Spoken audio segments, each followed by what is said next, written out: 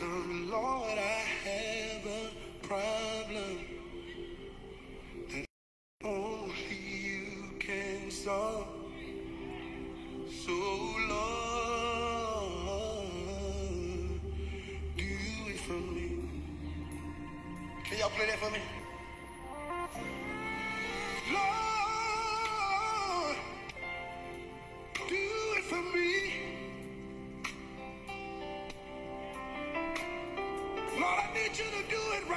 Good evening once more. Welcome to Truthful Transformation Thursday. I am your host, Minister JusAustin Lane. I just gotta let it play for a minute. Y'all come on and lock in. Come on and join us. We don't own the rights to this music, but thank you for this song. Thank you.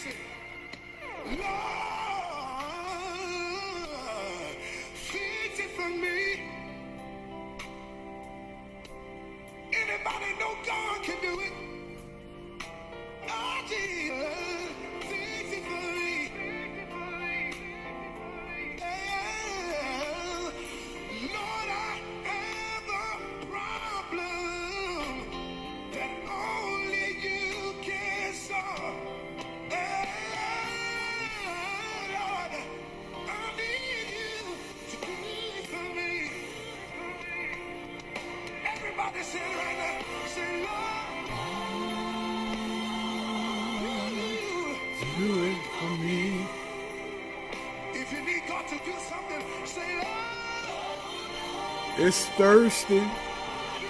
It's Thursday, and I'm sure that you wish it was Friday already so you can count your days to the weekend. And you still need him to do something for you. Won't you come and join us tonight? Won't you tag a friend tonight? Tell him, hey, Minister Lane is on, and he's going to wrap this thing up and mark tonight. Maybe, maybe not, but we're going to definitely do some truthful transformation Thursday. Come on and join us now. Come on, just wave your hands. If you need God to do something.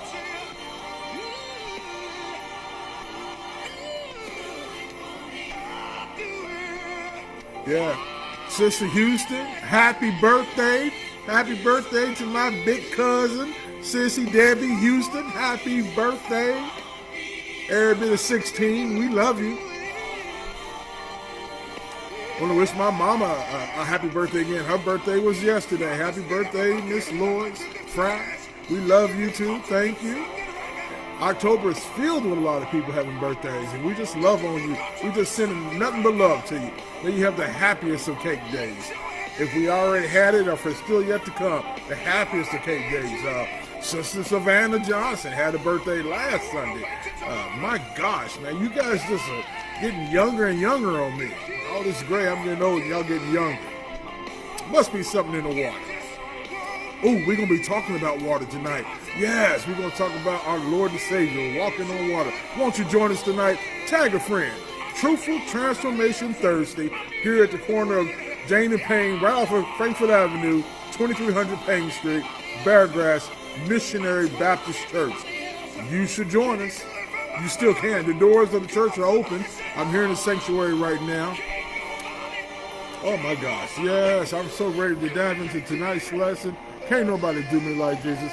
And if he don't do nothing else, mm, he has already done enough. Won't you testify with me tonight? Don't you feel like talking about your Lord and Savior tonight? I know I do. Man, after this week, I know I do. Yes, and we thank you.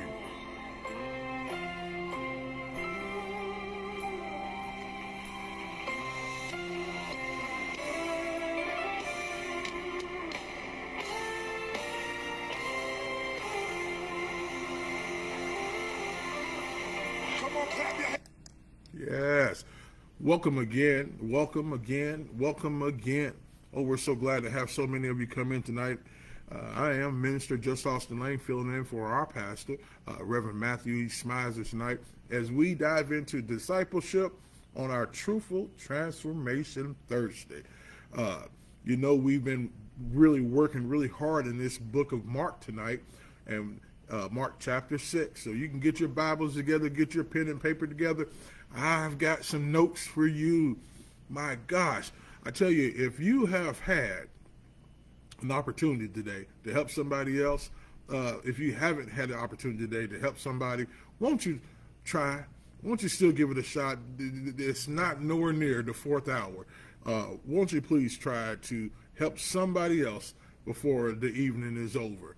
We want to definitely send out our prayers to uh, my son, your son, uh, Jesse Lane, who is recovering better now at uh, U of L Hospital, room 901. He doesn't mind visitors, and he also doesn't mind you supporting him and his his book, which is his third writing assignment that he has done. It's on Amazon. It's called Crisis. Ours came in the mail the other day, uh, and uh, I, I, I just been so nervous. I haven't even done anything but opened it and didn't want to start reading until I could read it all the way through. I just feel uh, so proud to be uh, able to share that with you, and I know he's proud to be able to share his experiences, which have not been easy with the rest of the world. So we thank you for your prayers. We thank you for your concern. We thank you for lifting up the Lane family in every aspect when you have and when you do. We also want to say that Sister Sotomayor Clayton has made it home safely. We're so glad to know that she couldn't even they couldn't hold her back is what brother brother Clayton told me they couldn't hold her back at the rehab center. She was moving the bed uh, uh, ahead of them, and uh, we're just so glad that her spirit has not has not uh, been tarnished. Sister Joan Hughes, we love you. Thank you. And I just I just want to send out a special shout out, man, that if you want to see a miracle, if you want to see a miracle, this Sunday, 2300 Payne Street, 10 o'clock, we are going to be so privileged to watch God do something wonderful. We're going to baptize not one, not two, not three, not four, but five, five souls who have asked the Lord to be their Savior. And we're going to do that this Sunday morning at 2300 Payne Street. So won't you come and join us? Service starts at 10, and we normally we're finished somewhere a little bit after 11. But gosh, isn't it a wonderful thing when even today, in 2024, men and women still know, are learning that they need to have a power greater than themselves, and why not call him Jesus? Before we start tonight, the book of Mark, join me in a open universal prayer for those right now. Father God, we want to thank you for those souls, those five souls, Father God, that have accepted you as their Savior. We praise you right now for allowing your Spirit to be shown in this house where they will want to be a part of your eternal family. Father God, we ask that you bless right now every Beargrass member, every member of every church door that's opened in your name, in the name of Christ Jesus, Father God. And we ask that you would be with the young man's family in Dallas that was gunned down so so harshly uh, over a cell phone. Uh, Father God, I ask that you would just continue to be with the city of Louisville at large, Father God.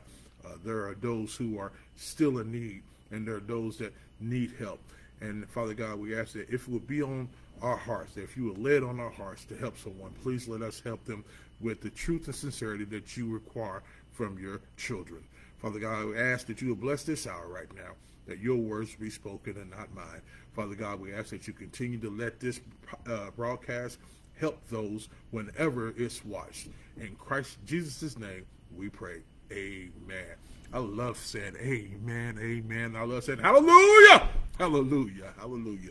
If you get your Bibles out, your phone devices, your however you want to do it, pull up to Mark chapter 6. Now we're going to talk about this, man, because last week Pastor was, oh man, did he dive in there? Yes, he did. He dived in there when he was talking about the feeding the 5,000. Man, and this lesson tonight is even just as powerful because this lesson demonstrates uh, Jesus' divinity, uh, his, his divine power, the presence in the midst of humans. And oh my gosh, it's just it's just a powerful piece. So we're going to pick up tonight at Mark chapter Mark chapter six. We're going to pick up at verse 45, and hopefully we'll get as close as we can to um, verse 55. I, I I'm prepared. I mean, yeah, I'm prepared for verse 55. We'll see how close we can get. Uh, but let's start with the first verse. Uh, I'm going to be reading from the NIV version, and what I'll do is let me just go ahead and start reading all the way through uh, the chapter, and then we'll go back and we'll cross the field again and we'll dissect this thing the way it properly needs to be done. Um, reading from the NI, uh, the New King James Version, it says, verse 45 Immediately he made his disciples get into the boat and go before him to the other side, to Bethesda, while he sent the multitude away. Verse 46 And when he had sent them away, he departed to the mountain to pray. Now, when evening came, the boat was in the middle of the sea, and he was alone on the land. Then he saw, then he saw them straining at rowing, for the winds was against them. Now, about the fourth watch of the night, he came to them walking on the sea, and he would have passed them by. Verse 49. And when he and when they saw him walking on the sea, they supposed it was a ghost and cried out. For they had saw for they all saw him and were troubled.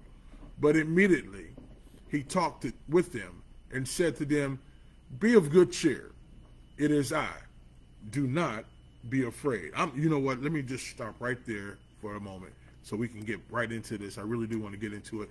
Uh, I'm going to tell you that this lesson has a lot of parallel verses in it from the Old Testament that make it um, relevant to what Jesus' acts were. I, I don't think, you know how you hear people say all the time, uh, nothing happens in God's eye by, in God's world by happenstance. Nothing happens without God's approval. And some of the significance that we're going to learn tonight just blew me away. I mean, I am telling you, I'm, I am not a, uh, a scholar of, of this word. I wish that I uh, could could know more of the back the back door of the the Greek and the Hebrew and and and I think sometimes man some people know that man and they can just take you down a, a rabbit hole and you be like oh my gosh it's overwhelming and so what I've learned to do in, in my ministry and my growth of being a Christian disciple I understand that everything has a a past, and I try to find the relevancy of it today in my life. And I'm so grateful that God works with me and He walks with me and He allows me to find the relevance of each and every scripture, each and every verse to today's uh, day and time. And I need that for me. I, I, I know a lot of people uh, have their own opinions, and I think that's the problem today. People have their own opinions of the Word of God being uh, messed with or, or, not taken back in the right context or taken out of context. And and I'm gonna tell you that if you allow that type of stuff to to defer you from reading the Word of God, then it was doing exactly what it was supposed to do. But because of those comments, I like to read the scripture, and you know, I, I like reading other other passages. I like reading uh, uh, the, the verses in the King James. I like reading the verses in the New King James. I like to read the verses in the NIV. I like to use read verses in what I I use for myself. Um, I'm I'm going to promote it because it's mine. Uh, Celebrate Recovery Bible, which helps me with the uh, eight spiritual principles of, of recovery as well. So whatever what's the word I'm looking for? Whatever uh, translation that you use, use something. Amen. Amen. So verse verse 45 immediately I, I, just had I just had to get that out there. I had to get that out there. That was that was on my heart. Verse 45, it says, Immediately he made his disciples to go into the boat and go ahead of him to the other side of Bethesda, uh, while he sent the multitude away. Now you got to remember, we're talking about there was over 5,000 folks that Jesus had just sat there and fed. With what they only had was uh, some barley loaves and, and a couple of fish. Now, I am certain, I am certain without a doubt that even the disciples were amazed. Even the disciples were caught off guard about what had just happened. And you know, you can you can read a lot of things about how uh, it was done, how he broke the bread in the basket, and and I, I even searched just to find out. There's because in my mind I want to know how can you sit and see two pieces of fish keep multiplying and multiplying and multiplying. that was a miracle, you know. And that's what God, that's what Jesus says. He is a miracle maker because he believes that um, we need to be able to see some miracles in our lives. So he sent his disciples away so that they wouldn't get, I guess, uh, overwhelmed by the mass of people who are now wanting to call him, you know, the the king, and and, and they wanted him to, to go ahead and, and help free the people from the Roman Empire rule at the time. I mean, come on, this guy just fed five thousand people with two pieces of fish. Okay, he's it's definitely time him to take over. It's, we want this now. So I'm sure there was a lot of talk about okay, uh, here, what do you want us to do? Let's get arms because no one ever saw Jesus doing what he did. He was the he was the Messiah to come. He was the chosen one, uh, but they didn't know that he was going to come the way he came. What they were expecting was they were expecting a general, like a warrior. They was wanting somebody to slash the head off the Roman Empire, and they thought it was Rome. It was it was going to be taken by force, but that's not how Jesus works. So in that verse, uh, he sent his disciples away. He did it immediately because I, am sure people were still overwhelmed. Uh, another way of his intentionally sending them away uh, to a situation where they would maybe he sent them to the water immediately because he knew they was going to face some difficulty there. Maybe Jesus was giving another example of his divinity to his disciples by sending them away, and then it almost seems like it almost seems like Jesus sent them into trouble, uh, that he sent them into peril, and that could be one way of con- construing this verse. Uh, if you would turn to, um, let me see, I wrote one down. Matthew chapter 4, verse 1. Matthew verse, Matthew chapter 4, verse 1. And, and we're going to dance, uh, I mean, because, man, I found a lot of information when I started to try to ask God's intervention on what this meant and what that meant. Some scriptures came to me and, and some, and his spirit fell on me and gave me some things that I was really struggling with. It's amazing that when you start to study God's word, how it will you it will find its application towards your life right now. Uh, Matthew verse four, Matthew chapter four, verse one. Uh, then Jesus was led up by the Spirit into the wilderness to be tempted by the devil. Just as the Spirit led Jesus into the wilderness, here in lies Jesus leading his disciples, is what I was getting at, into a challenging situation. Uh, verse Matthew chapter 4, verse 1 says, Then Jesus was led into the Spirit into the wilderness to be tempted by the devil. And immediately Jesus sent his disciples uh, to be to be challenged. Is plain and simple way of looking at it. Uh, but the funny thing, if what have you heard people say? If Jesus leads you to it, He'll lead you through it. And uh, sometimes in our lives today, whether we're facing uh, personal situations, are we living with life in the global sense of what's going on today? Whether it's us still trying to recover from a, a pandemic, you know, I, lot of people don't want to believe that, but there are still a lot of folks that are trying to get stability back in their lives after that type of situation happens. And this verse shows that uh, God allows the storm not because uh, He wants us to feel abandoned or He wants us to be uh, distraught, but maybe for the purpose of drawing us closer to Him. And I think if we don't recognize that each and every storm that we go through, my brothers, my sisters, um, my wife, my children, my family, my friends, every situation that we go through is just a valuable opportunity for us to draw closer to Christ Jesus. And that is the miracle within itself. Uh, because trust and believe, you and I are like any other human being. Uh, we're not going to just up and just start humbling ourselves before God until we get our backs on fire or our back is against the wall. Uh, I don't know. I think being a disciple doesn't mean that you have to be. I love that. What's that word? Uh, like a fanatic. Yeah, you don't have to be a fanatic, but you gotta. But, but but then I say if you don't have to be a fanatic, but why not? Uh, some of you are fanatics for so many things, uh, popular popular worldly views and popular uh, worldly scenarios. I mean, we go all in. Uh, the importance of TV shows and how we would put everything aside for this opportunity to to uh, escape into what world we want to escape from. And I asked you, why not escape into the Word of God? Hallelujah! Why not escape into the Word of God and, and dive into the stories that that have precedence, that have meaning in your life? Uh, this story about Jesus walking on water, verse number 46. And when he had sent them away, he departed to go into the mountains to pray. Um, so I'm trying to put a timeline on this. They was on the mountain.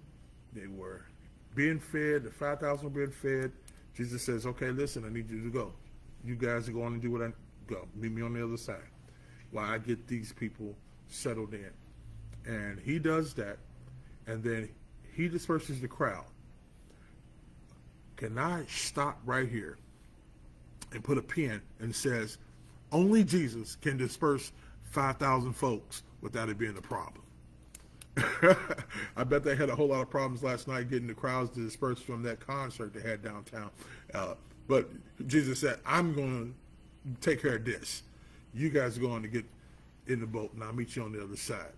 Uh, and then after he had sent them away, both both sets, his disciples and the crowd, he went to a mountain to pray. And you know, the emphasis of Jesus having an intimate relationship with the Father. He always prayed. And I, and I look at that now and I think we should pray more. And let's talk about prayer. Now, I'm really accustomed to getting my day started and I gotta go, gotta go, gotta go. And sometimes I'll be ripping and running all day long, all day long. I'm gone. And yeah, you know, I have my talks with Jesus, and especially when you're faced with some of the some of the things, some of the financial hurdles, and some of the uh, the shortcomings that you want not to be shortcomings in your life.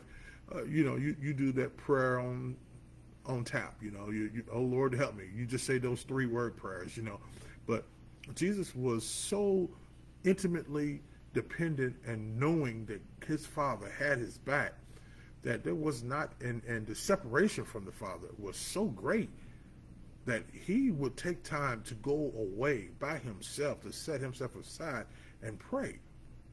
So i ask you my brother my sister i ask you my my disciple um, when's the last time you set yourself aside and went and prayed? Hmm that's a good question. You know, there is a um, there was a verse uh, this. If you would turn with me for a moment to Luke chapter five, verse sixteen. Luke chapter five, verse sixteen, and it's just amazing how you'll find these type of verses all throughout the Bible. All throughout the Bible. Uh, Luke chapter five says, "But Jesus often withdrew to a lonely place and prayed." Um, it's the model. That right there is the model for our lives. Jesus is constantly showing us that if we want to commune with God, essentially, we're going to have to take some time to be with God.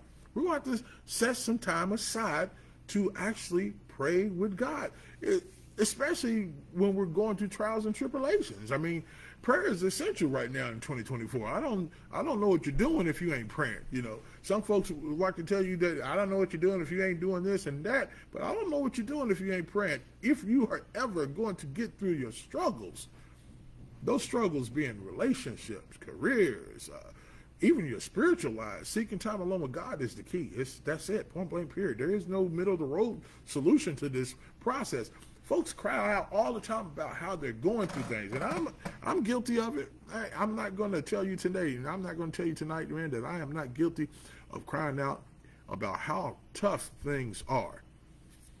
And then I just have to increase my prayer life, but it's always easier said than done. I get it. I, you know, I'll stay so busy that I won't make time. But then I have to ask myself, I make time for a whole lot of things.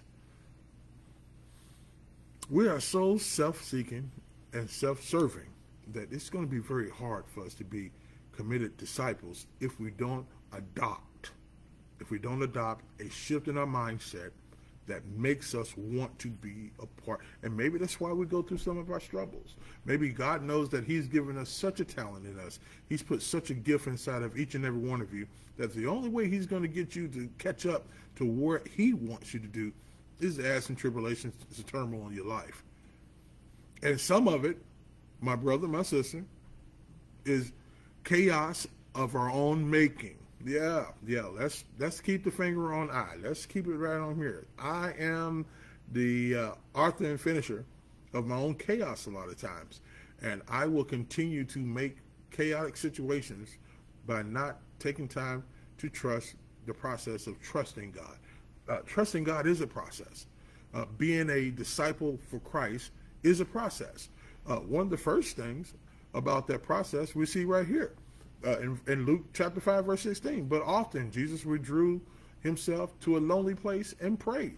Uh, I love that movie. Uh, oh, a prayer, uh, prayer warrior. What's it? Uh, you know, you know the one where the, the, she went in that closet. That old lady went in that closet and, and, and she pushed prayer through and taught that. Man, yeah. Is that unrealistic to do? Is that unrealistic for you to take space in your home and make it the time, the sanctum, to where you sit and commune with God? Is it essentially unrealistic for you to uh, set aside time to pray with God? I asked that question, and I'm really looking at this monitor, wanting you to respond back. I want you to, to tell me, is it essentially unrealistic? Because if you say that no, it's not unrealistic, then ask yourself the question: Why haven't you committed to do it? And if you are committed, and let me not be the the hit you over the head with a broomstick. If you are committed, then I urge you to urge others and encourage others to do exactly what you're doing. If you set up a prayer closet, eh, why don't you go to your friend's house and say, "Girl, look, let me help you. Let me. I'm gonna come over and do something for you." Why don't you go into your friends and your family's homes and, and, and if you've already known how to set up a prayer closet, amen, exactly. Why don't you go in their homes and show them how to set up a prayer closet? You know, maybe sometimes the reason why we don't do is because we haven't been shown. What do you mean show? Yeah, show them how to take this set of clothes, put it on that side, get you a chair, set it right here, get you one of those portable light lamps, show people how to give God that consecrated time, especially if you're doing it, Christians, especially if you are already in that mode, if you have already made your mind shift, if you've already got that mindset working in that direction, then I implore you, I, I urge you, do you want to help somebody? As much as we sit over people's houses and, and watch sporting events and, and eat and, and, and, and those that drink and those who sit and, and have those type of engagements, why don't we have another type of engagement? Why don't we urge each other to let's come over and create prayer closets in everybody's house? Ooh, wouldn't that be awesome? Did I just start something?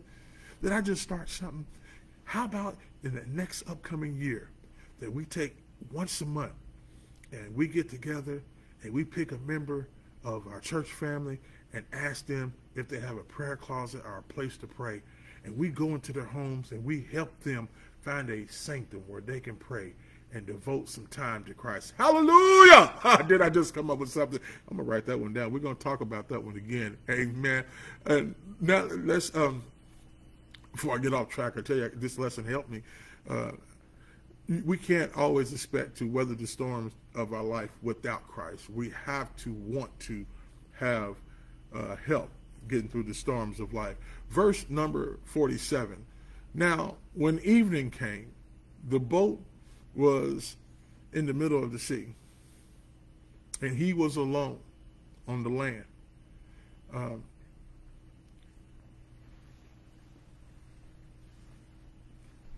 this verse reminded me of where I am today in my in my walk, in my discipleship, in my uh, ministry that uh, I wanted to give others. Uh, man, sometimes you can feel really vulnerable and you can feel really distant from Jesus. Sometimes it can feel like we are so far away, but want to be so close and still feel so far away. Have you ever felt like that? Have you ever felt like you were so far away physically from even knowing the touch of your Lord and Savior? Have you ever felt that you were so far away from the blessings of being called a child of God? Um, this verse, when evening came, the boat was in the middle of the sea. Now, we haven't even talked about what the boat was going through yet. We're just talking about the boat was in the middle of the sea. And I'm talking about when you envision in your mind this verse, verse number 47, you are the capsule. You are the boat. Uh, from the captain's table to the sternage, you are the boat. And sometimes we are in the middle of the sea. And I know at night, when we're supposed to be relaxing our minds and, and, and trying to decompress and, and get closer to God, uh, at nighttime is when that, it seems like when the storm starts to raging even more. Uh, because now you're actually seeing the, my, what Jesse calls the mortality of how I can even fix this situation, circumstances, or whatever I'm in. And that is a very vulnerable place to be because we can make some rash decisions when we're out in the middle by ourselves and feeling alone. Uh, I remember singing a song here uh, in this church when I was a kid, and uh, I was like, you know what? Oh my gosh, where did that song come from? And what? And it was one of those songs that was actually a Bible verse. Uh, but guess what? I found it. Turn to Psalms 139. Tammy Lane, you're going to love this one. Turn to Psalms 139. Uh, we're going to do verses 7 and 10. Uh, let me turn with it myself right now. Psalms 1, 139.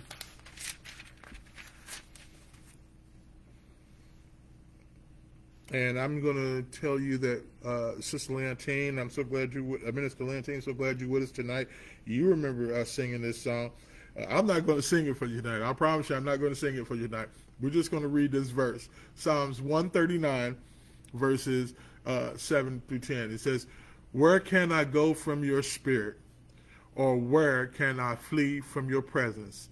If I ascend in the heavens, you are there. If I make my bed in hell, behold, you are there. Uh, yeah, I'm going to sing it. No, no, no, no, no, no. There is no hiding place. and that right there, oh, that brought me such a comfort to know that it makes no difference, my brother, my sister, my my my my brother, my sister. There is no hiding place where God's presence can't bring light to that situation. Oh, that right there is that's, that's hallelujah. That's shouting words right there. And we have to remind ourselves whether we're struggling with isolation by being alone, whether we're struggling with financial challenges, health challenges, amen, Jesse Lane. If we're if we're faced with financial crisis for those who are struggling right now financially, if we're struggling with addiction or even struggling with trying to be a better Christian, don't you know that this verse, Psalms 139, assures us that no matter how distant we feel from our Lord, God is never far from us. And us being the boat in verse in this verse, verse 47, us being the boat in the middle of the sea. Now this next verse, I I, I just want to chop this down piece by piece for a second because that's the way I did it. Um, verse 48 is a beautiful, beautiful piece of information that I am even now to this moment still feeling chills by understanding what I just read. Verse 48 of Mark chapter 6. You still have your Bibles open with you, don't? Thank you. I want you to follow me on this one. It says, Then he saw them straining at rowing, for the wind was against them. Now, about the fourth watch of the night, he came to them walking on the sea and would have passed them by.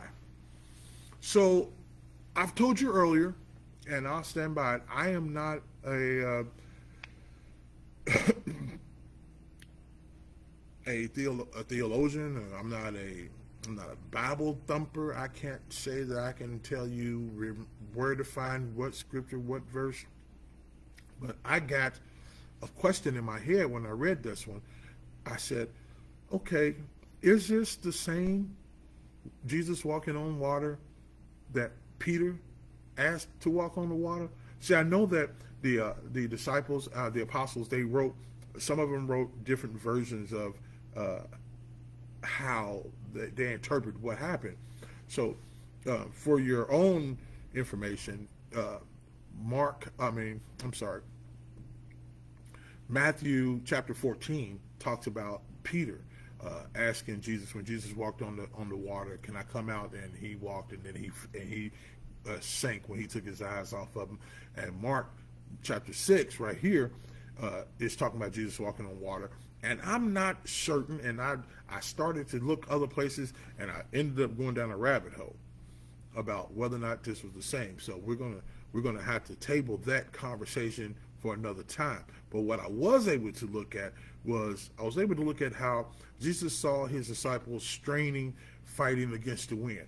Now, that right there, I can apply that to you and I right now. I can tell you that many times in our life, one of the key things I know is that we are like those, those disciples trying to roll against the wind and the wind's pushing us back.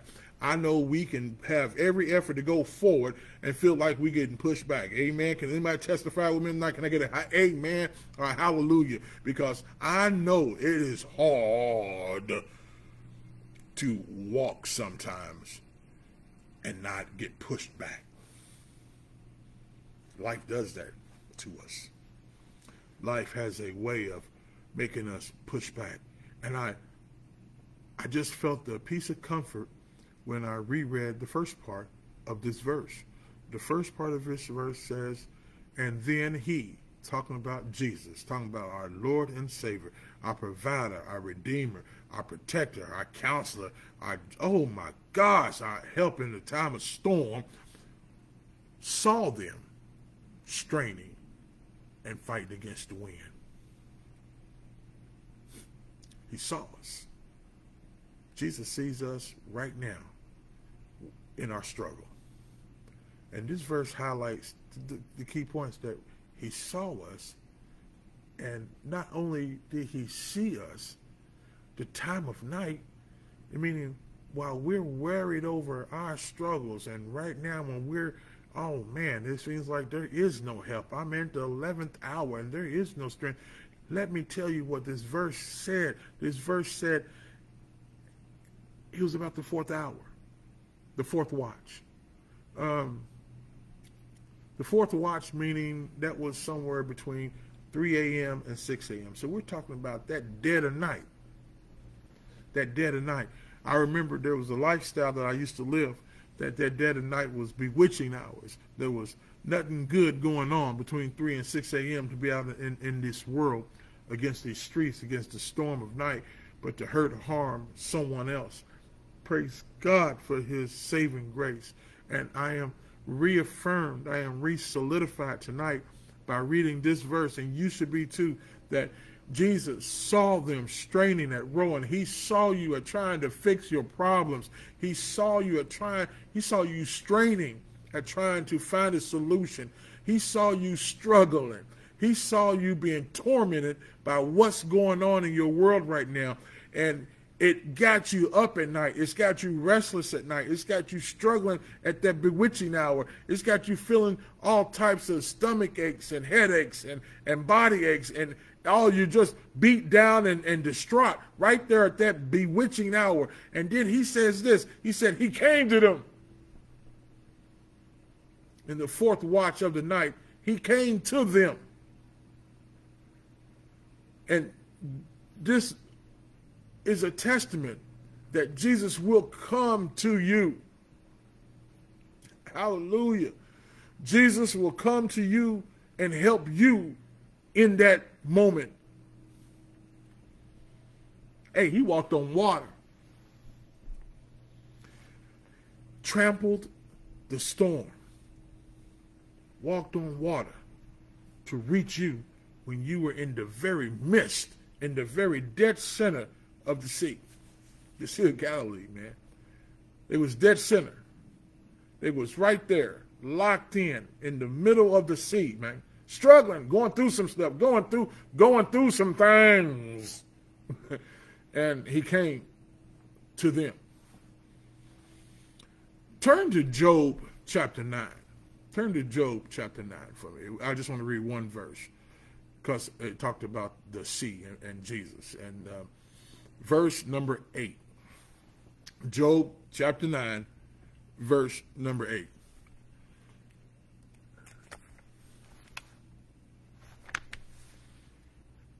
He alone stretches out the heavens and treads on the waves of the sea. He alone can make a way for you and yours and help you step on top of everything that's underfoot that's you know let me share something about the waves man i'm, I'm man man man hallelujah hallelujah listen waves wasn't just like this no, man, they was colliding. You don't understand? They was coming on all sides. They was coming up. They was coming down. The waves, the waves of life hits you at every angle sometimes. Amen. Hallelujah. And here, Jesus just steps on top of it, man. Come on. The imagination of, of God is beautiful. This alone was what he wanted to show his disciples, man. He wanted to show them that I could have passed you by, but I didn't. I could have just walked past you. The Bible talks about how folks was just wanting to touch the hem of his garment as he walked by. He said, I could have walked by you. I could have just this sovereignty right now. Job, Job was just emphasizing that God's sovereignty to, is over everything, over the human nature of the world. There is nothing. Walking on water demonstrates his, without a doubt, he is defined, that he is God. Whether whether this was the same time that Peter asked to walk out with him, whether this wasn't the same time that Peter asked to walk out with him. How about we just focus on he walked on water? That been the miracle by itself. That he can tread the ways of life today that you might face. You know what's so beautiful? Um, God's word will never return void. Um, Matthew chapter 11, verse 28. Just just turn there real quick. Matthew chapter 11, verse 28. Um, and I know you remember this one. I, and I know I know for the newcomer, uh, for the new uh, Christian, this one is going to be really one to put in your um, mental Rolodex. Uh, Matthew chapter 11, verse 28. Give me one second, and I'll be with you.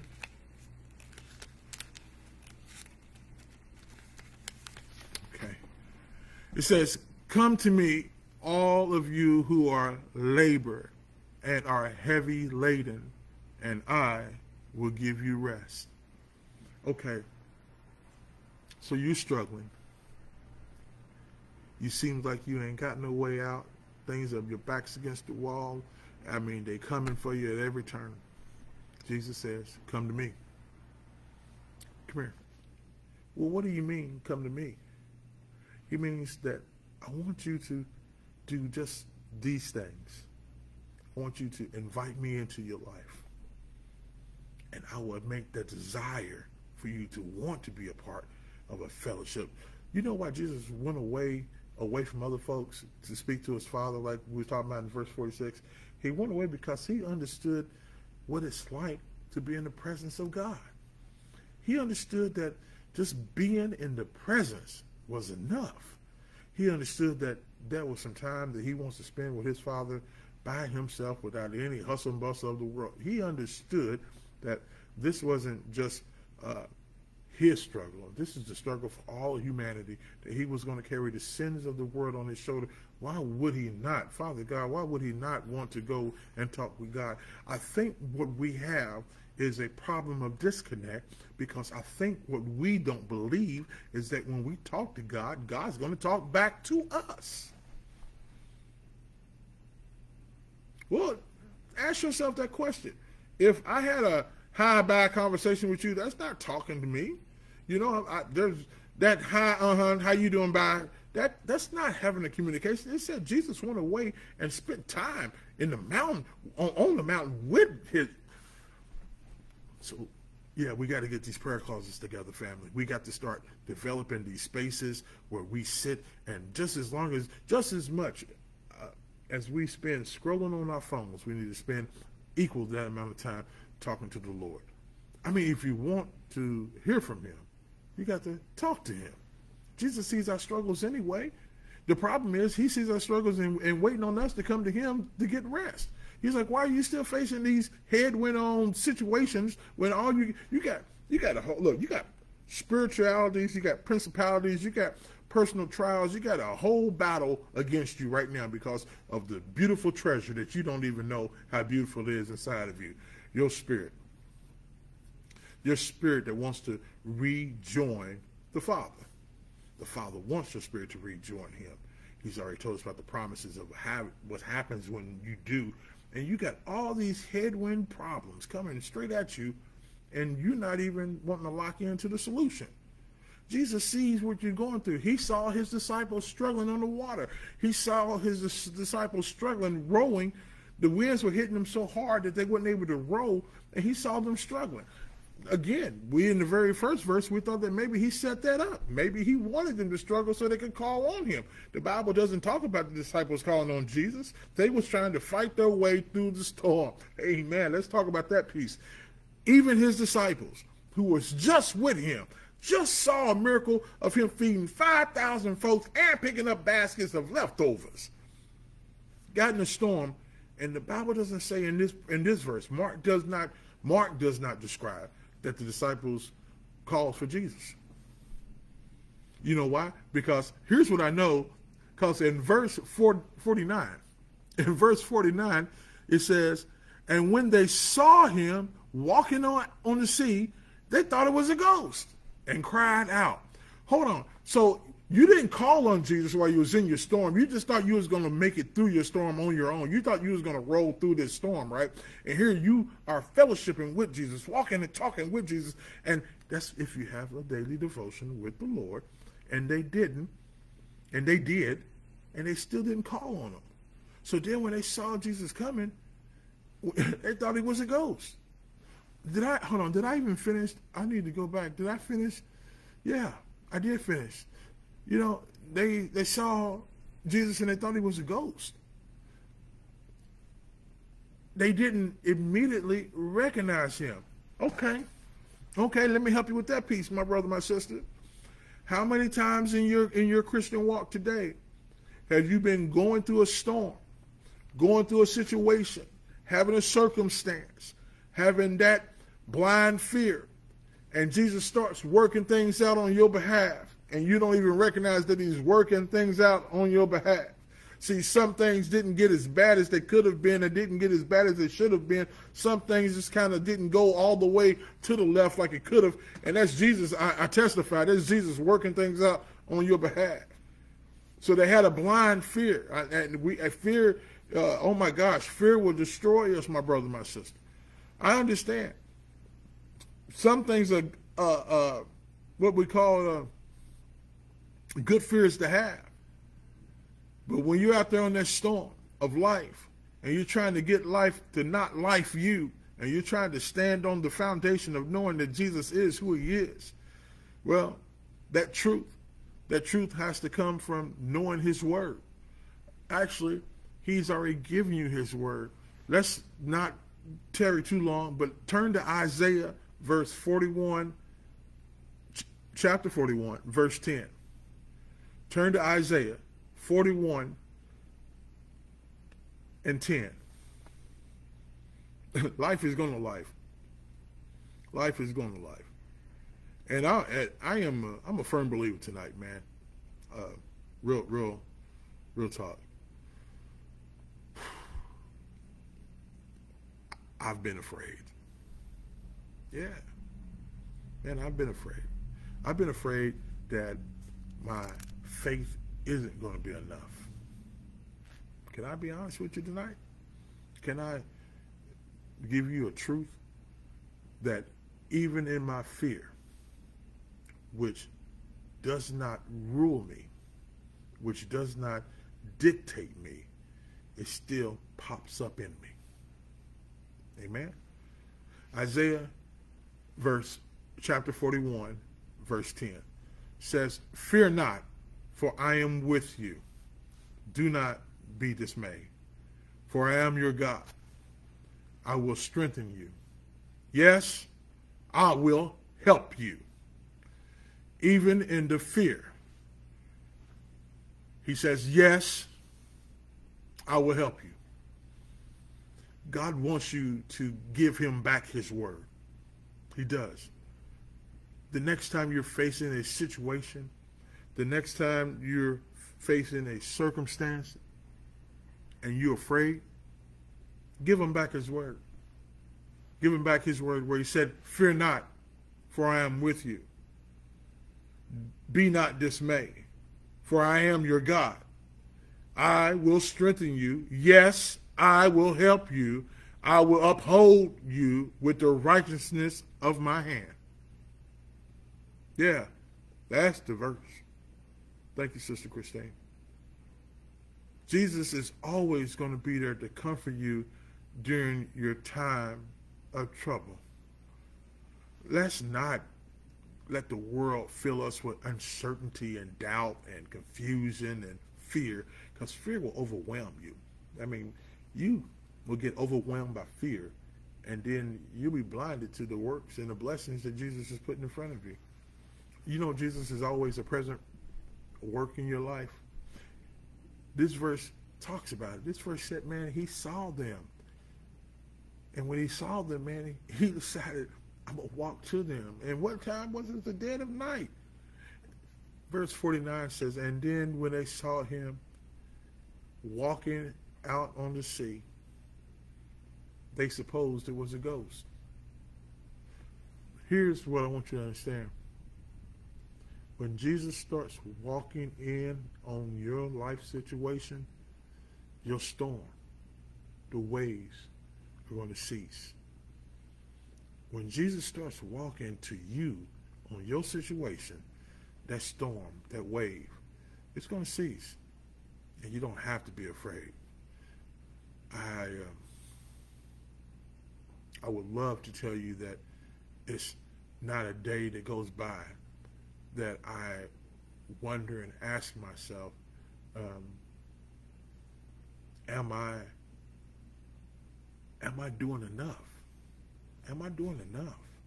Because it seems like I keep getting overwhelmed. I keep getting overwhelming feelings of I'm not. And I understand today. I understand today that see, um, if I wasn't doing God's work, then I wouldn't feel the pressures of life. You know, there's some folks that don't feel no pressures of life because they ain't got no God. They are their own gods. They are their own sanctum. They are their own higher powers. They are their own uh, beginning and end. Hallelujah. Have God have mercy on them. I that's not you today. That's not us today. If you are joining us tonight on this uh, broadcast, if you watch this broadcast later, you you'll know that you are not them. So anticipate and expect some storms in your life. And I'm sorry, I know somebody sang a song one time that said it seems like that it just keeps raining a little extra over here on me. And and and and I feel like I'm going to break, and I feel like I just need a break. I just need to see a clear path. And trust, He's got you. He's got you. He's watching over you. He's already, He's building character in you that you don't even know that you need. Um, verse 50 says, For they all saw him, and they were troubled. Why were they troubled? That's a good question. Why was they why was they troubled? Because they just saw Jesus walking on water. Hey, yo, whoa, whoa, right? And he talked to them. And Jesus said to them, Be of good cheer. It is I. Do not be afraid. Verse 50. Be of good cheer. It is I. Do not be afraid. It was like when that verse came out, and I was like, okay, hold on. I know you're saying more to me in this verse. Let me find out what you're saying. I mean, there is no other way to identify. Jesus is giving the testimony that he is God. Uh, the ekoyo, uh, I cannot say the Greek word like I want to, and I even wrote it down uh, with the accent marks. I wish I had a screenshot I could show it to you. But this phrase is the same phrase that was used in the Old Testament when God revealed himself to Moses through the burning bush. Echo, I am who I am. Uh, Jesus is saying that I am God. He's telling them to be of good cheer. When Jesus stepped onto the boat, he stepped from the troubled waters that they was going through through the storm that they were having in life, and he stepped into the house. Hallelujah. Jesus then stepped into your house. Now, I want to share something with you, my brother, my sister. If you ain't got a space for him in your house, hallelujah. Oh, man. If you have not prepared a place for you and him to sit down, my God, do you think he wants to sit on your couch? No. Do you think he wants to sit in, in your favorite chair? No. Jesus wants to sit in your prayer closet, the place where you went and called him up, the place that he's already visited, where he's accustomed to being. That's where he wants to come when he comes into your life, when he comes into your house, when he steps on your storm, steps on your storm, and steps into your life. You got to have a place prepared for him. He's got to have a place to dwell. Oh, man. Mm-mm-mm. Look, I got one more verse I want to give you before we roll out. Uh, I think this is all I can get tonight. Turn to John chapter 16, verse 33. Yeah. Yes. Turn to John, verse uh, 16, chapter 16, verse 33. And thank you, Christina. That was in Exodus. Uh, that that and she put that Greek word up for us. I am. I just I just don't want to butcher it. I'm not even going to try to butcher it again. But that Greek word that I am, God, uh, was given to us in Greek, and that's what he spoke to Moses, and Moses understood. So listen, right here, John chapter 16, verse 33. If you turn there, I will put a button on this part. Uh, man, uh, it says, um, it says this: These things I have spoken to you, that in me you might have peace. In the world you would have tribulation, but be of good cheer. I have overcome the world. Jesus actually has offered us the confining, binding words that you're going to need in your life to know that it's all good. He's already said, man, you're going to go through some things. You're going to have some tribulations. You're going to have some rough times. You're going to have some good. You're going to have some. You're going to have some times. But be a good cheer. That word, be a good cheer, is like stay ever encouraged continue to trust in me. I've already overcome that. That's not even something that you should even worry about. You can't even worry about what you're going through right now because it's not even, it's not even, it's beneath you. I wish I had one of, I wish I had my niece with me right now to give me a phrase that they say today that would uh, make you better understand. Do not be afraid. Whether we're facing, facing whatever situation you're going to face tonight, whatever situation you're going to face, here's what happened. Your situation, Jesus has already saw, and he is walking on the water right now to meet you in the middle. See, you didn't already put yourself there out there so far, but not too far where he couldn't see you. Uh, that's why the eagle uh, goes up onto a high perch so he can see it all. Jesus is the wings of the eagle. Hallelujah. So he sees you, and he's walking right now. Trust and believe, my brother, my sister, he is walking right now to to be there for you. So the message is clear. I mean, be of good cheer. He's coming. He's already overcome the world. He showed you that, and you can rest in the victory that he's coming and that he's already overcome the world. You can be of good cheer knowing that he is got you. He is not going to leave you. There is no There is no situation. There is no circumstance that you are going to face without uh, without Christ Jesus being right there for you. I, I promise you, if you would only uh, today, if you only today give yourself an opportunity to trust and believe that, that he is that he is in your corner, um, you will know that he is in your corner because he's going to walk on the water. He's going to prove himself to you. Um, I, I did have some some follow notes I want to bring to again. Uh, some things I wanted to bring out of this message. I, we didn't get all the way to the end. I apologize, but it just it just got me overwhelmed. I wasn't able to finish it. But if you are struggling today, my, my brother, my sister, if you are having a rough time, understand that God allows you to go through a challenge so that you can grow. Uh, sometimes we have to be in difficult situations so our strength and our faith would increase. Uh, prayer is essential. If you have, if you're not, if you dare, if you need to get get get get that prayer closet together, we're going to talk about that some more. God's given me a, a a vision on that. So we're going to talk about that again. Uh, maybe we'll make that our New Year's uh, uh, desire. I don't want to say resolution, but how we make that our New Year drive. That every member here in Beargrass has a prayer closet, or maybe we can help every member, especially our new members. Praise God. We're going to baptize five this Sunday. We, hallelujah. We're going to be grateful for that. So remember, prayer is essential. Uh, three, Jesus knows your struggle. You ain't walking through it alone. Okay, don't don't don't be afraid. Don't live in fear. And again, know that Jesus is God. He is He is the way and the light, the truth, the foundation. The only way to the Father is through the Son, and He is already walking on your storm to come to you. Isn't that amazing? He's already walking His way to come to you. My brothers, my sister, I am elated. Let's let, let us let's pray. Let's pray. Father God. Father God, thank you for the words that you have allowed to be manifested and spoken tonight because now that they have been spoken, we are all held accountable for what we know you will do in our lives. And we thank you for that. We thank you for now being held accountable, Father God, that we know that we have to commit ourselves to a prayer place for you.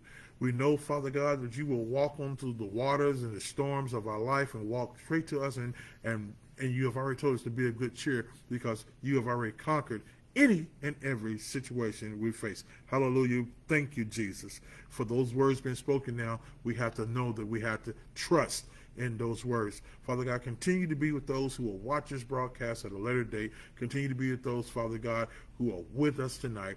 And continue to be with the foundation of your church, Father God, right here on the corner of Jane and Payne and 2300 Payne Street. You brought me here when I was 13 for a reason. And I thank you, Father God, for allowing me to know that this is the season that you are going to walk on my storm and that you're going to walk to me. And I want to be worthy of you walking to me on my storm. And I want to prepare a place for you to have when you come to me. I thank you, Father God. In the Christ Jesus' name, I pray and ask these things. Amen.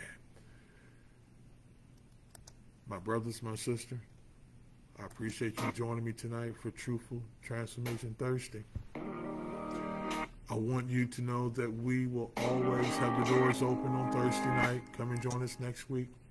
Uh, Wednesday night, Wednesday afternoon, 12 o'clock, Bible study. And this Sunday morning, an ocean 10 o'clock. We on an ocean that. This Join is us here. God dream. This Won't you come? Stan Walker, uh, I'm going to let him close out this with his version of This is a God thing. He's waiting on you. Deliver us serenity. Deliver us peace. Ain't that beautiful? Deliver us loving.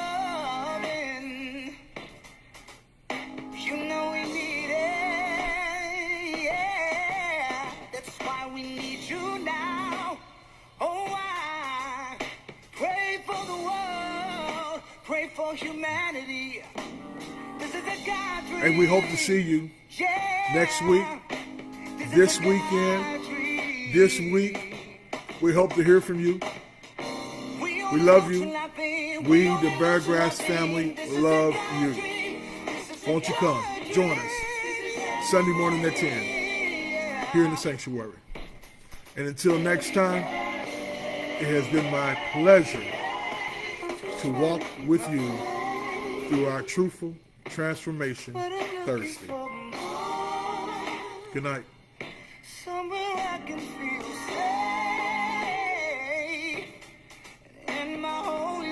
I just gotta let that play though. I love that song. I'm just trying to keep my Why question, not blessing? Why, why did you do me wrong? Because the weak, because it made you feel so strong. Don't have much faith to so I look up to the light.